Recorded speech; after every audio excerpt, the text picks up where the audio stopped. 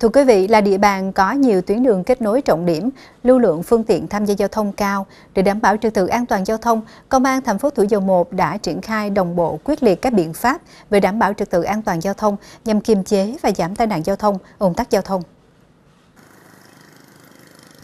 Từ đầu năm đến nay, trên địa bàn Thủ Dầu Một xảy ra 39 vụ tai nạn giao thông, làm chết 11 người, bị thương 32 người, hư hỏng 76 phương tiện các loại. Qua phân tích đánh giá, nguyên nhân dẫn đến tai nạn giao thông chủ yếu do người điều khiển phương tiện không chấp hành quy tắc khi tham gia giao thông, như không nhường đường cho xe đi trên đường ưu tiên từ bất kỳ hướng nào tới tại nơi đường bộ giao nhau, đi xa làn đường, sang đường không đúng nơi quy định, không chú ý quan sát, không chấp hành hiệu lệnh của đèn tín hiệu giao thông, không giữ khoảng cách an toàn, chuyển hướng gây nguy hiểm cho người và phương tiện khác. Cùng với đó là các lỗi vượt xe khác trong trường hợp không được phép, đi ngược chiều trên đường có biển báo cấm,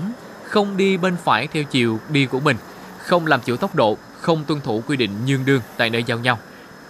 Qua cái công tác uh, xử lý nghiêm uh, đối với các trường hợp là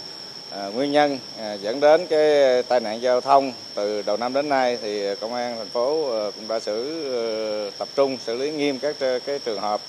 uh, trên do đó là tình hình trật tự an toàn giao thông 6 tháng đầu năm thì cũng đã được kiềm chế và kéo giảm à, trên hai tiêu chí số người à, số vụ số người chết.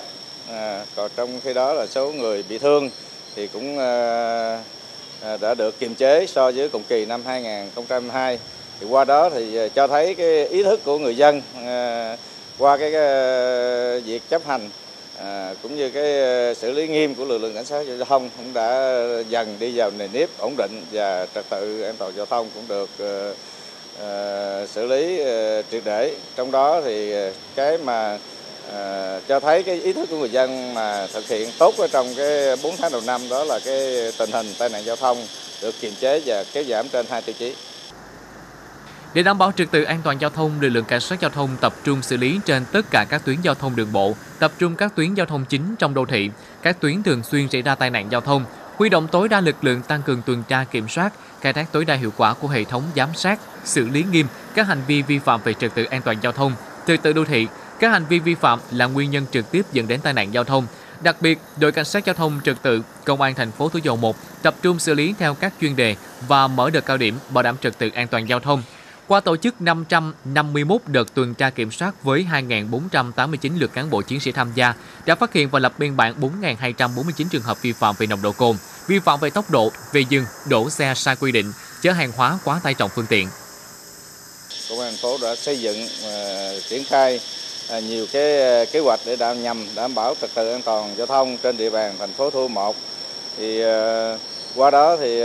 công an thành phố cũng đã chỉ đạo cho lực lượng cảnh sát giao thông trật tự À, tăng cường công tác tuần tra kiểm soát xử lý nghiêm các ờ, trường hợp vi phạm về trật tự an toàn giao thông. Trong đó là chú trọng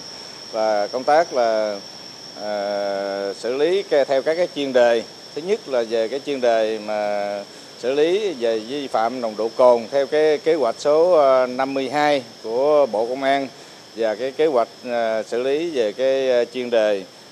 Ờ, về tải trọng ờ, phương tiện theo kế hoạch số 53. Trên cơ sở đó thì công an thành phố cũng đã xây dựng kế hoạch số 50 và số 51